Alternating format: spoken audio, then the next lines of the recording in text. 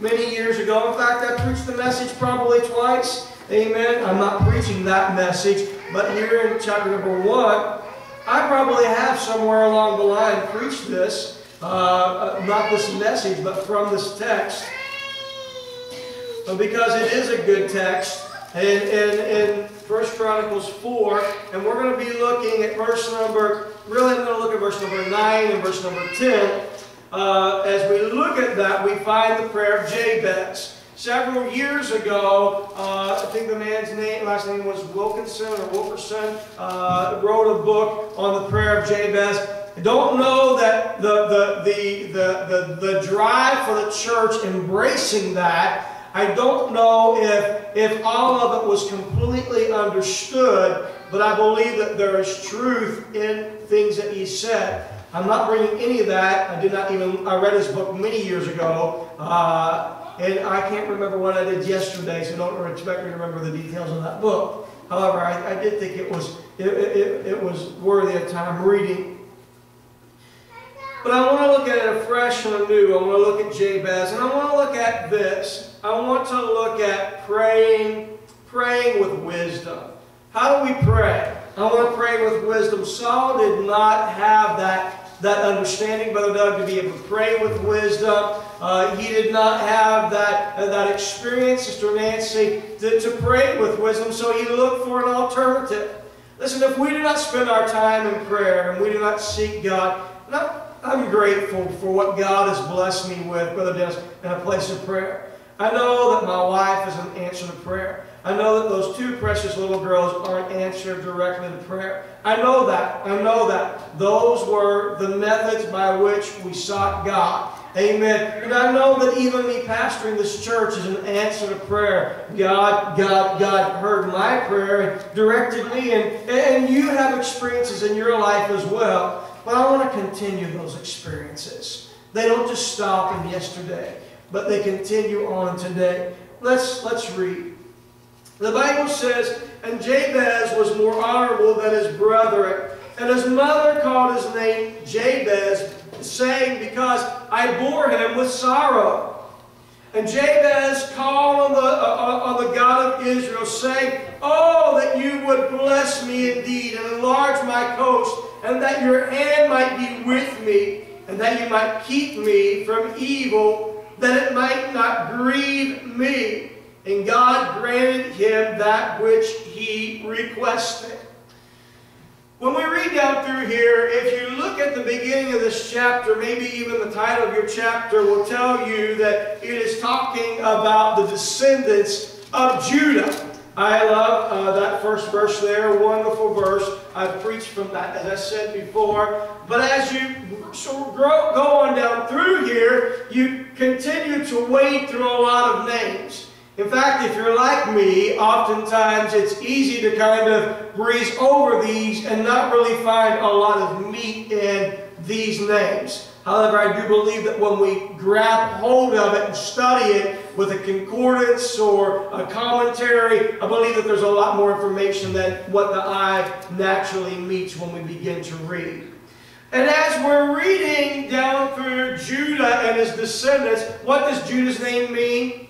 Praise praise or worship. Amen. So here's this, this, this man of the tribe uh, of Judah, uh, uh, uh, uh the descendants uh, of the 12 tribes, and he, is, he is sharing, is being shared of his descendants. And we find that there's a man named Jabez in the middle of all this. Now, the Spirit of God certainly did anoint the writer of First Chronicles to, to notate about Jabez and give us some more information about Jabez than what other people uh, are, are given uh, here in this genealogy.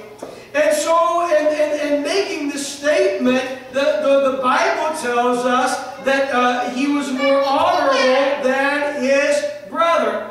Now, when we look back in the Hebrew culture, typically what happened is dads, we unfortunately didn't get a part in the naming of the children, but most often the mother named her child. And uh, the child was named because of, of, various things that was happening around the mother. And, uh, and, and her Jabez's mother, she gave him a name, and particularly boys' names in general meant something.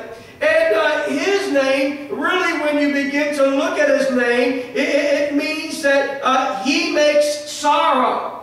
So something was happening in the life of Jabez's mother, or in the birth of, of Jabez, where he is making sorrow. Amen. Uh, uh, and so she felt that she was going to name him this. Maybe she felt that this boy is coming, and I really don't have the means to properly care for him. He makes sorrow for me. Or whatever the events was surrounding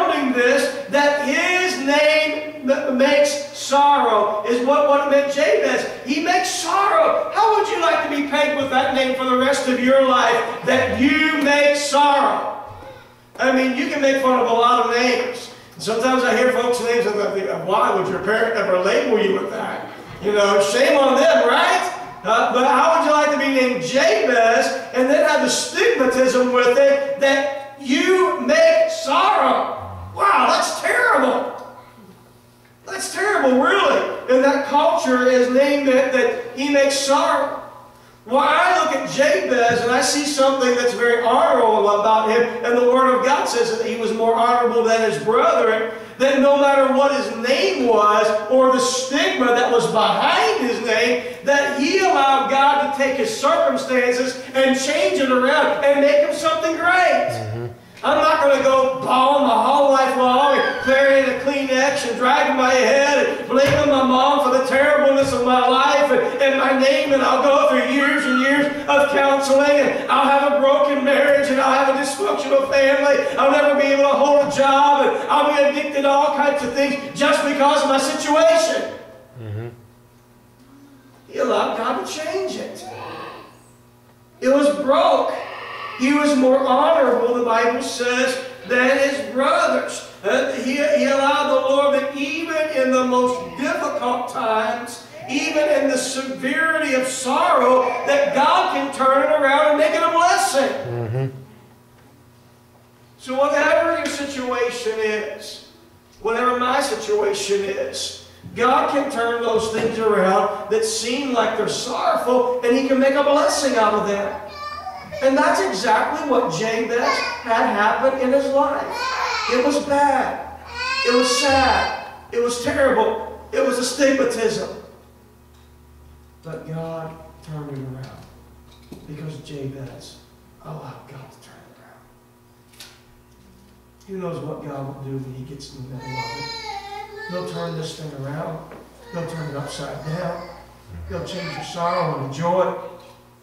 He'll turn you from feeling like you're on the bottom to making you feel like you're soaring on top. Amen. When we get hold of God, He can change our situations. And I believe that Jabez, Brother Doug, he was very much of the mindset that I'm going to have God change my situation. Why do I say this? Amen. Because when we begin to look at Jabez, and I want to look at this. Verse number 10, the Bible says, And Jabez called on the God of Israel, saying, Oh, that you would bless me indeed. Oh, that you would bless me indeed. If you will allow, and I won't be lengthy on any of these, but if you will allow me to break this next verse down into seven different parts, I'm going to look at it, and I want to look at some wisdom that we can gain from prayer. The first being the practice of prayer. Amen. The Bible says that Jabez called on the Lord God of Israel. The very first thing that I notice about him is, is that the wisdom that he shows us in prayer, this man of sorrow, changing his situation into being a blessing. The very first thing about him is that he was a man of prayer.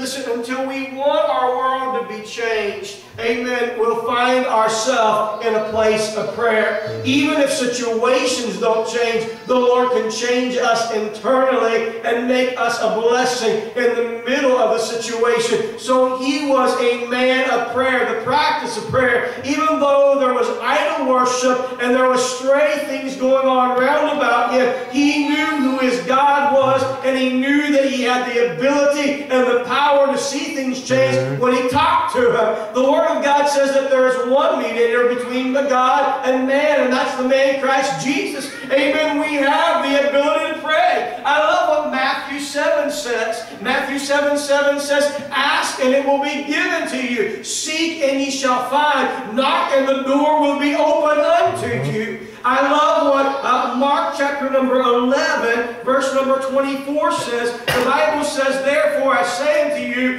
whatsoever things you desire. Let me just stop here and say this. When you are seeking the will of God, your mm -hmm. desires will be correct. Mm -hmm. When you're seeking your own self-motivated things, amen, you're really not launching into the place of prayer where God wants you to launch.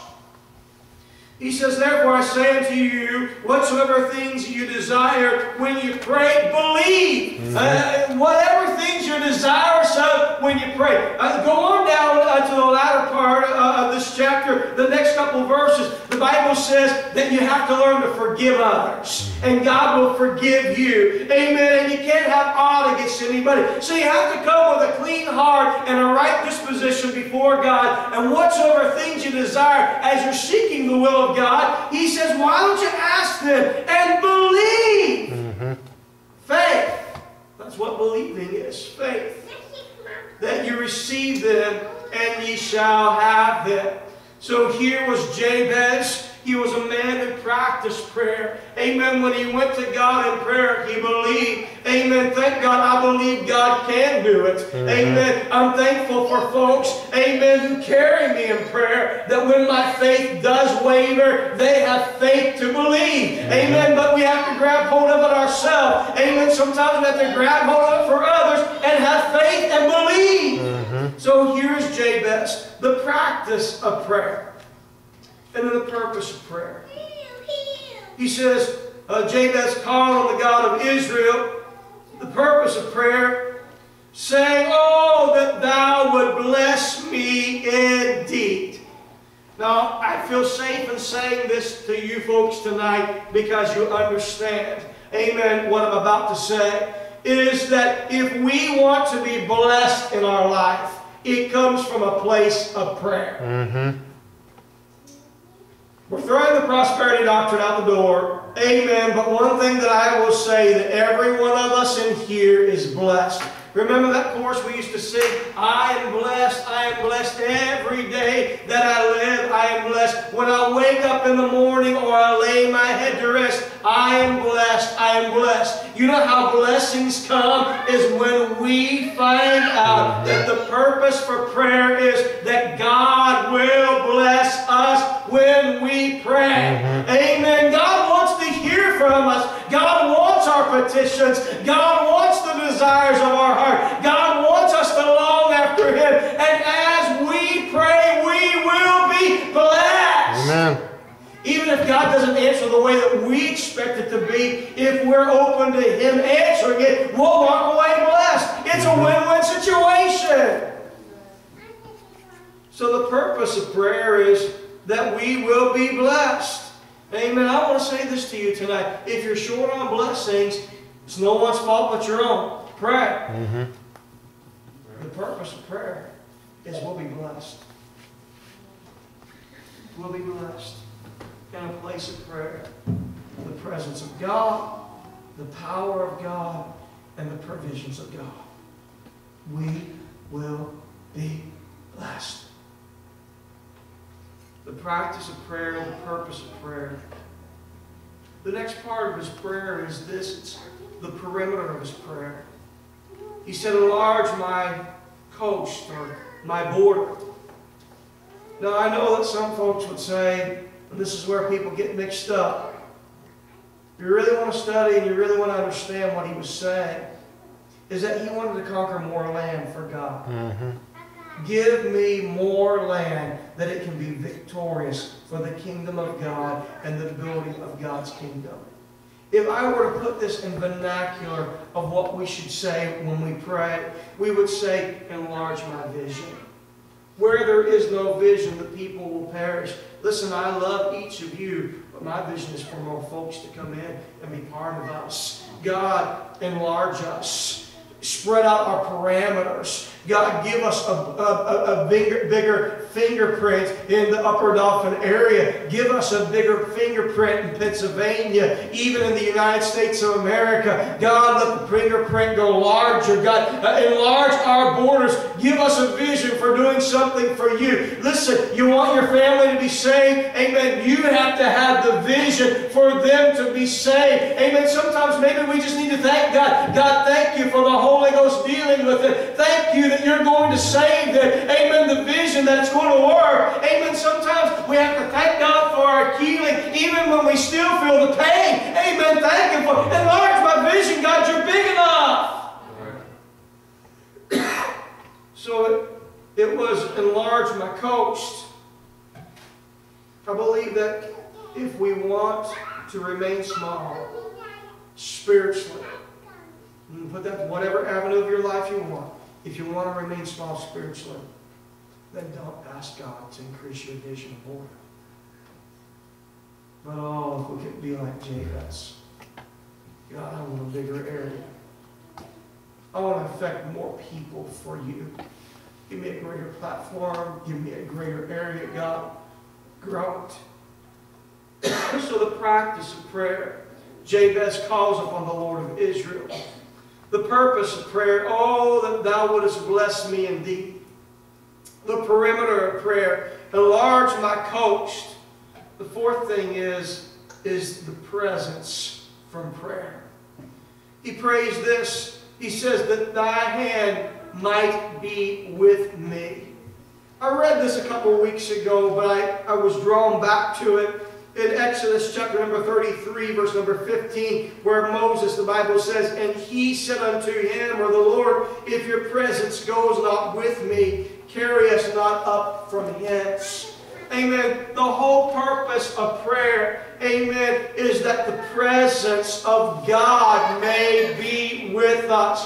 You know, when the Word of God reminds us to pray always, amen, to cease not and pray, it reminds us that God is with us. No matter where we're at or what we're doing, amen, the presence of God is with us. He can be with us in the sanctuary. He can be with us in our homes, our places of employment. He can be with us in the hospital. He can be with us if we're not even around another Christian. Amen, the presence of God because we are practicing prayer and God's presence is where prayer is being practiced. Oh, God, help us. God is not allowed. I was thinking about this tonight. God is not allowed in so many places. When I was in fourth grade, I, I, I seen that my fourth grade teacher, she was old when I was in fourth grade. You know, she's really old now. Fourth grade's been a long time ago. She's up in her 90s, living in Florida. And she used to play the piano and sing. And I got the kick the first time I heard her sing because she was a soprano. And she just bellowed it out loud on her piano in her classroom. And we would sing songs. We started out uh, at school, you know, it was fire awareness, fire prevention. We learned about Smokey the Bear, and we sung Junior Fire Marshals Are We. Amen. I don't know if any of you heard that before, uh, but, but we would sing that. And when we would get done singing that, Brother Dennis, we would all stand by our desk and we would recite the Lord's Prayer together. I'm talking about public school. Oh, Mrs. Sires, I don't think she'd be able to do that nowadays in public school because God's not allowed there. God's not allowed in a lot of places in our communities. But if we practice prayer, God will always be allowed where we are. Hallelujah. Jabez, keep on praying. And then the fifth thing is the purity from prayer that thou wouldest keep me from evil. I believe that seldom do people pray this, but Jabez just wanted to be holy. He just wanted to be holy. He just wanted to be holy. No matter how anybody responded to him or treated him, he just wanted to be holy.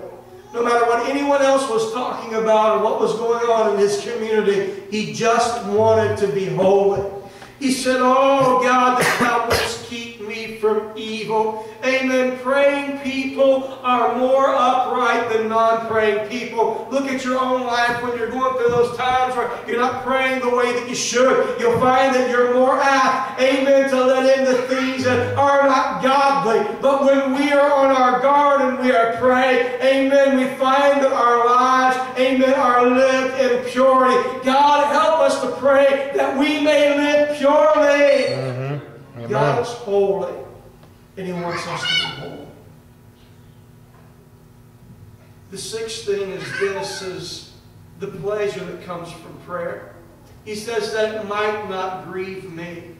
We all know that there's pleasure in sin, but it's short-lived for a season. But there's something that is long-lasting in prayer, and that is pleasure.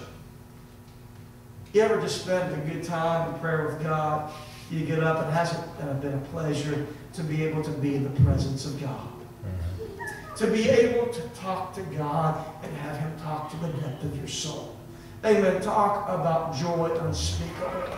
The Word of God affirms to us that in His presence there's joy. Amen. That His visitation preserves us. We know all those things. And so as we pray, Sister Stacy, what a pleasure for each of us to be able to say that I'm not grieved. Mm-hmm. But it's been a pleasure to have been in the presence of God. Yep. And then the sixth, or the seventh thing, is the provisions from prayer. And God granted him that which he had requested. What did James tell us? We have not because we ask him. I can't believe God hasn't blessed me. I can't believe God hasn't provided. I ask you something? Have you prayed about it? Or do we just expect because we are labeled a Christian that that's our entitlement? God wants to hear from us. Maybe the reason why we haven't experienced the product is because we haven't. Jabez, how can you be so happy, Brother Justin, and not grieve when your name means he brings sorrow? You know why? Because Jabez asked God to take that stigmatism away and give him joy and not grief. And Sister Tina, God answered his prayer. I'm not minimizing or criticizing us tonight. I'm just saying I can be guilty as well. Sometimes we think, God, well, how much time have we really spent asking God about it? Because God does answer prayer. Difficult prayers. Things that should have a long-lasting effects, God removes. Jabez should have had a long-lasting effect that he brings sorrow. Mm-hmm. But God said, no, he asked of me, and I'm taking that effect. Sister Holly, I know you're crazy with girls. You're not playing tonight? You want to come grab something and play? Amen. Tonight, let's pray. There are many needs. There are needs represented that I heard verbally tonight as you've given them in prayer request. But I know that there are needs that you have. One thing about Jabez is he practiced prayer. Mm-hmm. He knew the purpose in prayer was that God would bless him. I believe tonight you can walk out of here blessed because God's answered your prayer. Mm-hmm. The purpose of prayer was the blessing, the perimeter. God, give me a greater vision. You can leave here tonight with a greater vision. The presence of God from prayer, amen. God visits with you. The pleasure of prayer that He grieves us not, and the provision that God answers. Tonight, as believers, I believe that we know how to praise. I believe we do very well in this church, and you worship good tonight. I seen that. You are worshiping God. Judah, you've done well. Look down through your genealogy. There can be some sorrowful things. Let God change it. And would you allow your name to be known as a name that's more honorable than others because you take your burdens to God in prayer and you see an answer. Tonight, let's go to bed. Father, let's pray. Amen. Let's go.